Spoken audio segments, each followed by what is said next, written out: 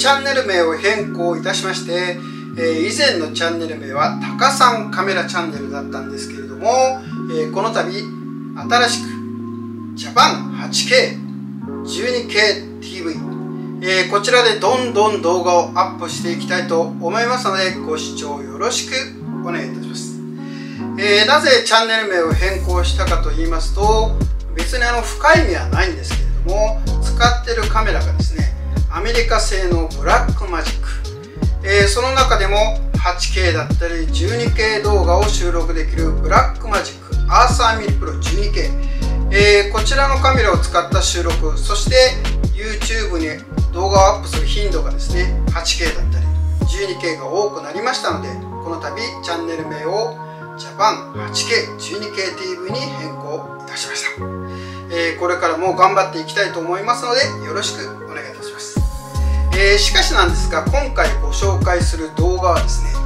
えー、こちらのカメラ日本製のパナソニックルミックス S11、えー、こちらもですね動画に特化したいいカメラなんですけれども、え、以前も何度かご紹介したことがあるんですけれども、え、モニター経由でブラックマジックロを収録できるんですね、えこちらのカメラを持ち出しまして、え収録日がですね2月になってしまうんですが、え編集が伸び伸びになってしまってご紹介も遅れてしまったんですけれども、え千葉県の幕張でですね行われました、えー、ジャパンキャンピングカーショー2022、えー、こちらをですねご紹介したいと思いますので最後までご視聴よろしくお願いいたします。はい。はいそれではジャパンキャンピングカーショー2022ご紹介したいと思います。こちら私お気に入りトリップログベース。こちら外部収納庫ですね。ベッド下のスペースを利用しております。広い。おっと出ました。基本ベースのお値段。1395万円。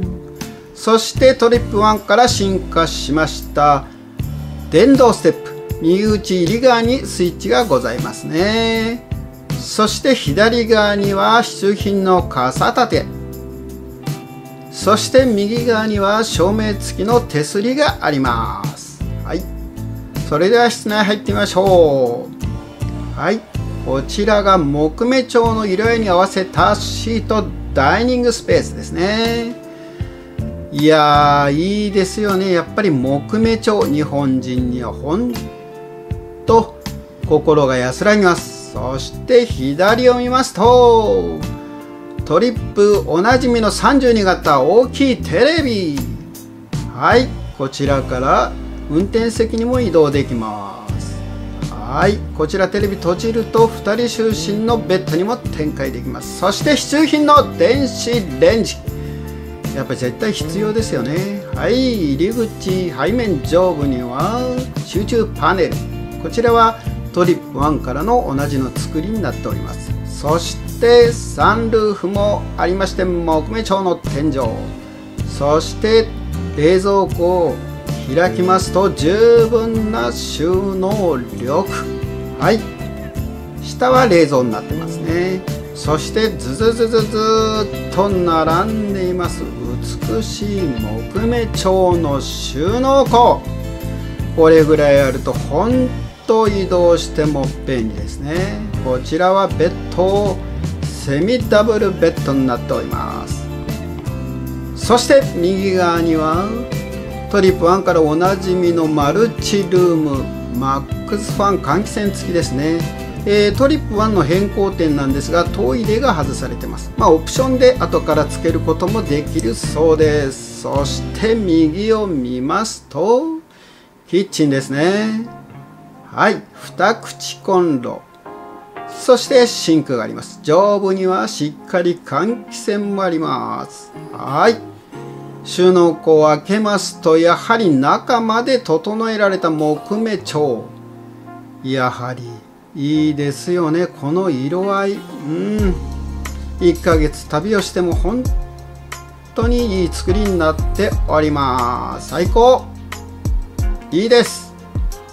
そして来ましたこちら。キャンピングカーの最高峰フルコン。そして使用するボディはメルセデス・ベンツ。右側の車両の後部には自転車を乗せれるキャリアが乗っかってますね。いいですね。やはり人気見たい人も集まります。やはりそちらはやっぱり高級車メルセデス・ベンツ。いや正面見ますとやはりベンツマークが輝いております。いや豪華。そして入りますとダイニング、えー、こちら運転席と助手席をですね、えー、方向を変えまして使えるダイニングになっております。この辺はやっぱりですね日本の車両とベースが違うのでスペースをフル活用できるってことでいいですよね、はい、入り口型のシートそして背面にはテレビ。いやおしゃれな作りになっています。はいキッチンを見てみましょう。じゃじゃーんと三口コンロこんなにいるのかどうか分かりませんがお隣はうん開けることができない。ごめんなさい。ものが載ってました。シンクでした。しかしですねやっぱりヨーロッパ車はですね歴史が長いのかうんやはり何といってもおしゃれです。かっこいい。すごく豪華に見えます。はい。こちら運転席のですね上部は電動で下がる2人就寝できるベッドになっていますね。やはり歴史が長いということは作りがですねほんと美しい。そして上部にはサンルーフ。いやーほんと止まってた場所で美しい星空が見えます。それでは後方に行ってみましょう。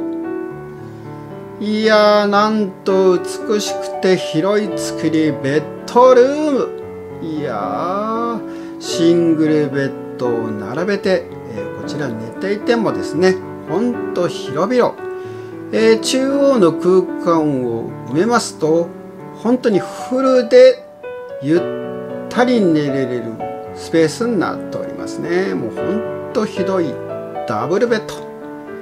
いやー便利。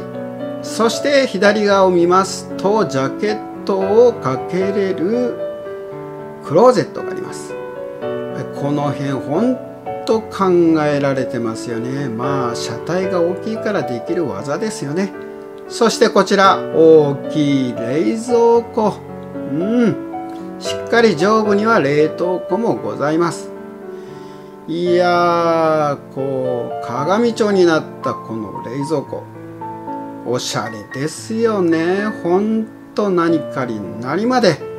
動くワンルーム。ほんと都内にいるような感じでどこにでも観光行けます。そして右が見ますとほんとホテルの一室を思わせるようなトイレとシャワールーム。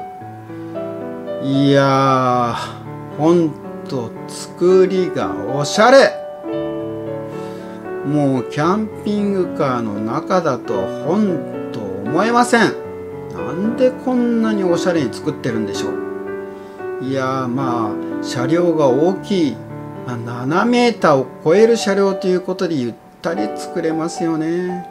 本当にいいです。まあ、お値段はですね、まあ、大きい声では言いませんが2500万円ほどしますんでまあこれぐらいあってもいいのかなと思いますがさすがこの辺はベンツベースのフルコンのスペース。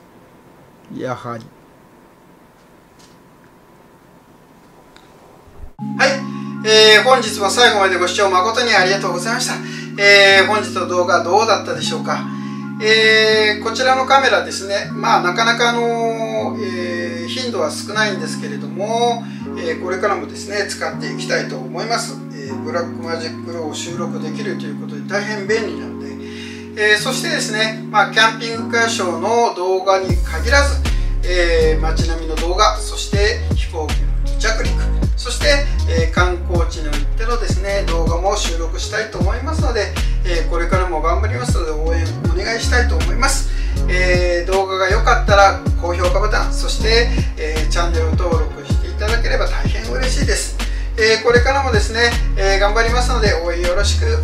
ます。ではまた次回お会いしましょう。